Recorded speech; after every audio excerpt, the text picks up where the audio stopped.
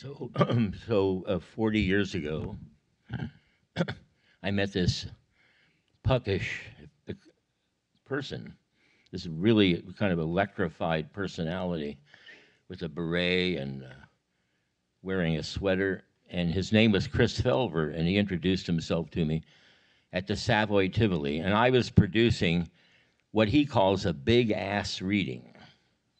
I mean, it was a lot of people in that reading. And he said, I'm a photographer and I'd like to photograph the poets. Could you introduce me? And I said, No problem. And suddenly Jack Hirschman popped out of the sidewalk, followed by Lawrence Ferlinghetti and four or five hundred other poets. And I guess I had to introduce them all. We did 40 years of work in one evening.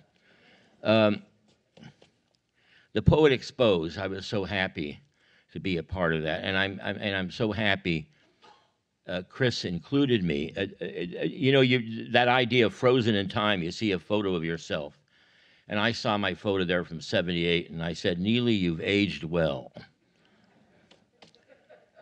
But of course, I have a vested interest in thinking that. Um, Chris, where are you? So there you are, yeah. I hope you'll say a few words. Uh, at any rate, this is called I Want to Be a Dead Poet.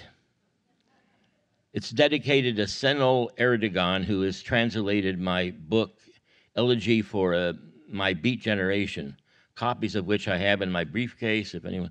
Um, it's coming out in it's coming out in Turkish, and such is the world today that he showed up in North Beach at the Cafe Trieste a few months ago, and I thought, my God, a man from Turkey and his girlfriend is Turkish. She works at a tech firm in Boston, and they sounded like a couple from Marin County. It was it was really something. I I get tricked that way. I want to be a dead poet, alive beyond life, sitting at a corner cafe like Paul Verlaine, sipping absinthe on a warm and rapturous summer day. I want to walk with Dante on his journey through hell. We stop for a picnic with Mrs. Satan, who brings fried chicken and potato salad. A cold, cruel wind climbs Tamalpais as we eat. I want to be a dead poet and learn how to speak the great languages of the world from Urdu to Bangla, a man of mountain words and desert commas, a brick man and a birch poet. Are the trees violent or violet today?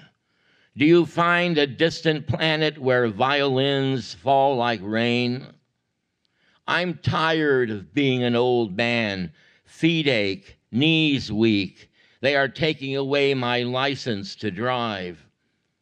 Rain threatens our beloved town. I'll stand arms outstretched. I want to be a dead poet. Now it is 5 a.m. I grow frailer by the minute. Yet life is good. I love breathing. Every minute counts. Love is a pain in the ass, but we fall for it we look like reindeer and our hearts beat like hedgehogs. Oh, to be a dead poet, beloved in eternity. Last week I walked with my partner in the deer park. We fed rabbits and waved to the baboons. I saw two dogs eating sugar from the hand of Gautama. Next week I'll climb the mountain to probe sturdy junipers where snow is like ash, purple lichen clinches obdurate rock. I would become sainted and wear a name tag at the literary convention.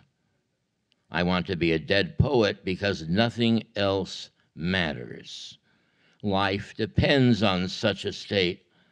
I'll count butterflies in the world to come, eat sounds of drummers until stones are lit like Roman candles. I want to take one last drive on Funston Beach, stroll the cliffs with my dog Orion, who carries our planet. I need you, your love, your poised brain, skeleton keys, and dust of Oklahoma clinging to my skin.